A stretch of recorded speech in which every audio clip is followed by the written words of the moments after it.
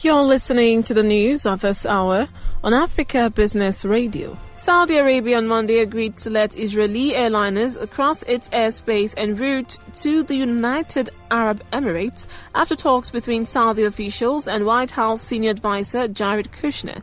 The official told Reuters that Kushner and Middle East envoys Avi Berkowitz and Brian Hook raised the issue shortly after they arrived in Saudi Arabia for talks. The agreement was hammered out just hours before Israel's first commercial flight to the UAE was planned on Tuesday morning. The East uh, fly, flight was at risk of being cancelled with no overflight uh, agreement.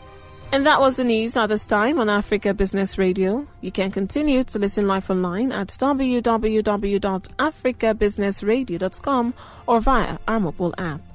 I am Rachel Chijindu. Thank you for listening.